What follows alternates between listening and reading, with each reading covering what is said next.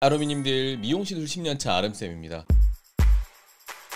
오늘은 눈물고랑 앞쪽이 정말 싫으시잖아요 다들. 자 우리가 눈물고랑 이렇게 쭉 꺼져 있는 경우가 많은데 보통은 앞부분이 다들 싫다고 하세요. 저도 솔직히 앞부분이 보기 싫어요. 이거를 얼마나 채워야 되는지 꽉 채워야 되는지 부족하게 채워야 되는지 뭐가 제일 좋은지 제가 걸어왔던 길도 한번 얘기를 해보려고 해요. 자 이제 출발할까요? 출발! 좋아요 구독. 우리가 이제 눈 밑에 고랑이 쫙 이렇게 꺼져 있잖아요. 그런데 어디가 더 싫으냐? 눈동자를 기준으로 했을 때 보통 이 부분이 더 싫다고 하세요. 더 진하기도 하잖아요 솔직히 말씀드려서. 저도 옛날에는 이것을 목표로 시술을 했습니다. 근데 시간이 지나다 보니까 요즘에는 여기를 약간 남겨둡니다. 특히 요 앞부분일수록 제가 옛날에 눈밑 필러 하지 말아야 할 14가지 이유에 대해서 말씀을 드렸었잖아요. 그 중에서 세 번째 제가 딴 거는 다 잊어버리셔도 상관이 없는데 딱 하나만 염두에 두고 시술했으면 좋겠다고 말씀드린 게 있죠. 기억이 안 나시겠지만 뭔가 시술을 했는데 요 부분이 플루케에서 이상한 거를 말씀을 드렸어요. 안 이상한 사람이 더 많지만 여기가 이상해져서 수정을 하는 거예요. 두 가지 이유 때문에 요즘에는 안쪽을 좀 부족하게 하는데 첫 번째는 시간 지날수록 안쪽이 조금씩 조금씩 불룩해 보이는 경우가 있다는 거 하나. 또 하나는 모든 사람이 거기가 완벽한 사람이 없다는 거예요. 중고생들 학교 갈 때 무표정으로 가면 여기가 다 좀 꺼져 있어요. 근데 우리가 남은 안 꺼졌는데 나만 꺼졌는데 라고 하시잖아요. 왜 그러냐면은 우리가 고개를 숙이고 무표정으로 앞을 탁 쳐다봤을 때 눈이 밑이 제일 나빠 보이거든요. 근데 내가 딴 사람을 만날 때 그 사람이 나한테 이렇게 하면은 노려보는 거잖아요. 예의가 없네, 싸가지가 없. 아이고.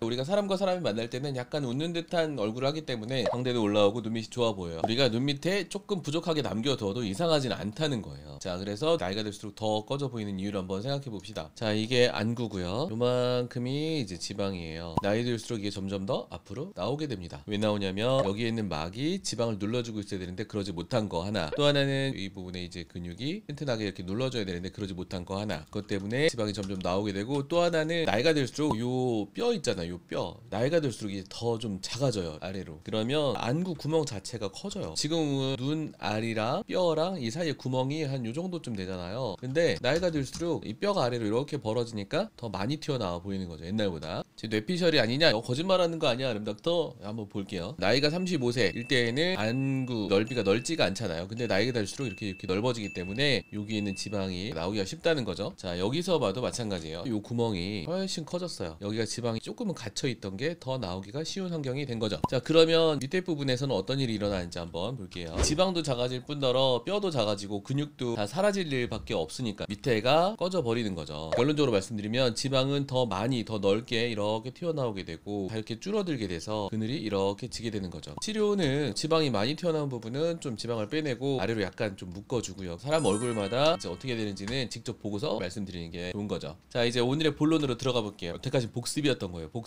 자 이제 보면은 우리가 이제 아까 여기가 싫은 거 다 알고 있어요. 여기만 좀 채워주세요라고 말씀해서 오시는데 제가 이제 말씀드리는 거는 요 밑에 부분도 같이 좀 잘 채워주어야 어색하지 않다 이런 말씀 드리려는 거고 뭐든지 채우려고 할 때 이 부분은 최대한 덜 채우고도 할 수 있으면 좋다는 거예요. 그래서 필러는 이런 부분에 들어가줘야 되겠다. 우리가 처음에는 괜찮아 보여도 시간 지나면서 안쪽이 이상해 보이는 이유가 있어요. 우리가 얼굴의 최고점이 눈동자를 기준으로 봤을 때 B 부분이 높고 A 부분이 낮은 거는 안 이상해요. 원래 사람이 이렇게 생겼거든요. 그런데 나중에 시간 지나면서 아래 부분이 뭔가 이렇게 불룩해 보이게 돼요. 그거를 수정하러 오는 거예요. 예, 옛날에는 저도 빵빵하게 채우는 거를 목표로 해서 했다면 요즘에는 부족하게 하려고 합니다. 이 사진상으로는 또 괜찮기도 한데 웃으면 또 어색할 수 있어요. 어떻게 현실적인 기대치와 이상과 그 사이의 간격을 메꿔갈 거냐? 이런 것들이 사실은 쉽지 않아요. 그래서 애초에 안 하는 병원도 많고 최근에 댓글 중에 충격적인 얘기 들었어요. 제가 이제 눈 밑에 필러 채우고 뭐 이런 얘기를 했잖아요. 어떤 병원에 가가지고 거기 하고 싶다고 이제 말씀을 드렸대요. 그랬더니 진정한 의사라면 거기는 필러를 하지 않습니다. 그렇게 말씀하셨다는 거예요. 그래서 저는 이제 진정한 의사가 아니라 약간 사이비 약장수 약팔이 의사가 됐구나라고 생각이 들었죠. 그러니까 그렇게 단언하시는 원장님이 있으실 만큼 눈 밑이라는 데가 쉽지 않아요. 저한테 카톡 많이 보내주시잖아요. 카카오톡 오픈 채팅방에서 아름닥터를 검색 하면 제가 나옵니다. 자, 오늘 제가 드리고 싶은 말씀은 여러분과 마찬가지로 저도 안쪽을 되게 싫어하는 사람이었다는 거예요. 저 처음부터 그렇게 눈밑을 자연스럽게 하려고 했던 게 아니에요. 왜냐면 눈 다들 이 안쪽이 싫어서 오시는데 아 그걸 왜 남겨요? 저도 기대에 부응하고 아우 잘 됐다고 얘기 듣고 싶고 하단 말이에요. 그래서 옛날에 열심히 빵빵하게 했는데 시간이 지나서 보니까 좋지 않았다. 다시 10년 전으로 돌아간다면 처음부터 좀 자연스럽게 했겠다라고 생각을 항상 많이 하기 때문에 제 채널명이 자연스러운 게 예쁜 거다라고 적어 놓은 거예요. 상담 오실 때 마다 눈 밑에 대해서 되게 길게 설명을 드리는데 한 번만 더 듣고 오시면 제가 설명 드릴 때 더 잘 이해하실 수 있을 거예요. 오늘 영상 여기까지고요. 여러분 사랑받는 하루 되세요.